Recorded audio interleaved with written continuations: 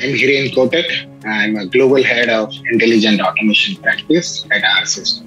We work with Google, Amazon, and leverage the tools and the platforms that they have and develop a solution for uh, solving for the business opportunities and the problems that our customers have. In the healthcare industry, a simple thing like billing has become a very complex process.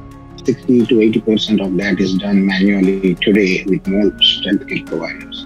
Now, with this new technology, we are able to provide them solutions where there is less of a manual work.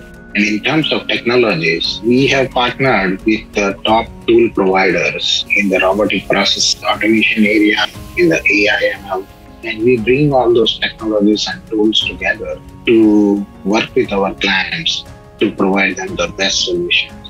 Finally, link these improvements in the processes to their business outcomes. And with that, we have seen almost six times growth this year compared to last year.